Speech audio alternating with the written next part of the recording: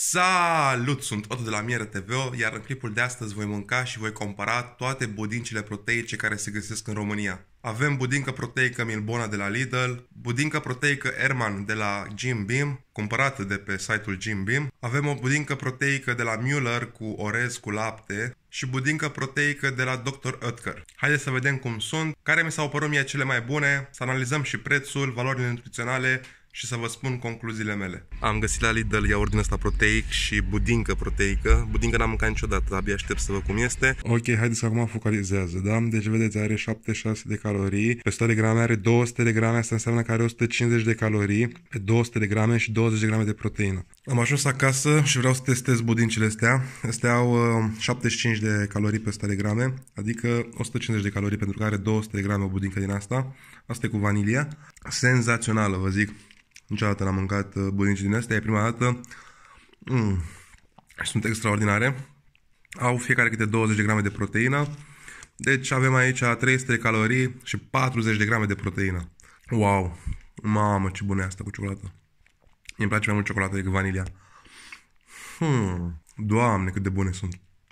Sunt mai bune decât iaurturile. La desert avem niște budinci din astea de la Echman, cred că am pronunțat corect, nu știu. Sunt budinci proteice, le-am luat de pe Jim Beam, pentru că la Lidl nu am mai găsit uh, budinci proteice în ultimul timp. Au tot 20 de grame de proteină, la fel ca și cele de la Lidl, tot 200 de grame. Ia să vedem aici câte calorii au. În principiu ar trebui să aibă la fel. Da, 76 de calorii, vedeți, pe 100 de grame. Și are 200 de grame, deci avem 150 de calorii, 10 grame de proteină, au niște valori nutriționale foarte bune. Le-am luat uh, cu ciocolată, am luat un box, 8 bucăți. Singura problemă la ele este că sunt cam scumpe, sunt 9 lei față de cele de la Lidl, care sunt 4 lei. Deci sunt aproape de două ori mai scumpe. Haideți să vedem cum este la gust totuși. Ok, am desfăcut-o.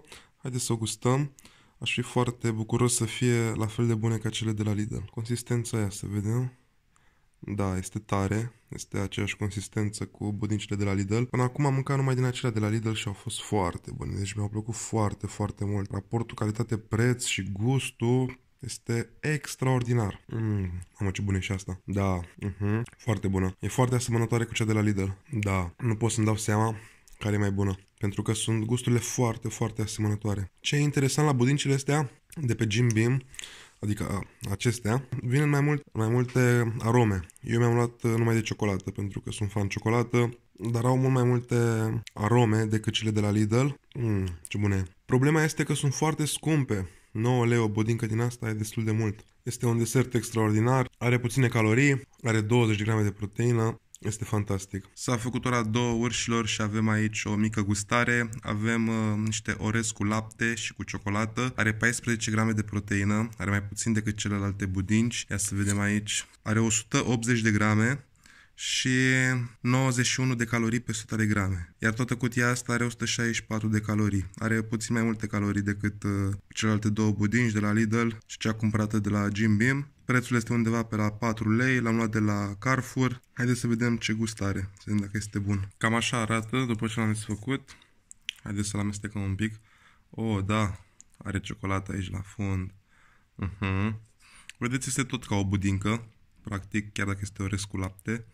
Haideți să vedem ce gustare și cât de cremos este. Mm. E bun, dar nu este așa dulce. Consistența este tot ca de budincă, mm. dar nu e dulce.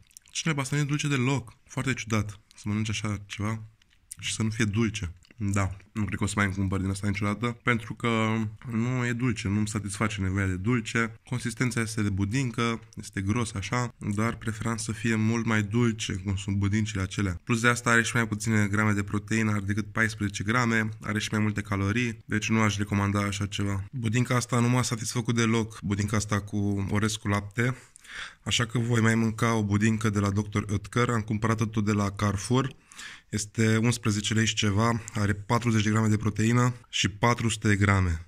Are 83 de calorii pe 100 de grame, are puțin mai mult decât celelalte budini, cele au 76, dar are mai puțin decât uh, orezul ăsta cu lapte, pentru că ăsta are 91 parcă. Uitați, 83 de calorii, 10 grame de proteină și are 400 grame pentru că are 40 de grame de proteină. Haideți să vedem cum este. Wow, ce culoare închisă are! Așa da, chiar are o culoare foarte, foarte interesantă. Este foarte tare, exact ca bodincile celelalte. Uh-huh. Da, e bună. E mult mai dulce asta decât uh, orezul cu lapte. Chiar este foarte bună. Se aseamănă foarte mult la gust cu budinca de la Lidl și budinca de la Jim Beam. Uh-huh. Mamă, mamă cât de bună e asta. E extraordinară. Oricum, cu budincile astea două, practic am înlocuit o masă. O să iau 54 de grame de proteină. Da, asta e foarte bună. Foarte, foarte bună e asta. Foarte multe proteine, la fel ca și celelalte budinci.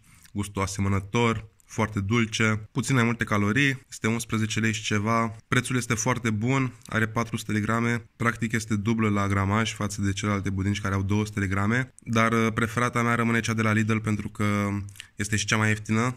Singurul minus este că nu se găsește, se găsește foarte greu. După aia pe locul 2 ar fi asta, dacă ținem cont de preț, de gust, de valorile nutriționale și de faptul că se găsește la Carrefour, pe locul 3 ar fi cea de la Jim Beam, pentru că aceea este foarte scumpă. Gustul este foarte bun, valorile sunt foarte bune. O putem comanda, vine direct acasă, dar este 9 lei și are 200 de grame. Are jumătate din cantitatea asta. De acum, din asta de la Dr. Rötter o să-mi cumpăr, atâta timp când o să găsesc la Lidl budinci și asta o să îmi cumpăr de acum încolo.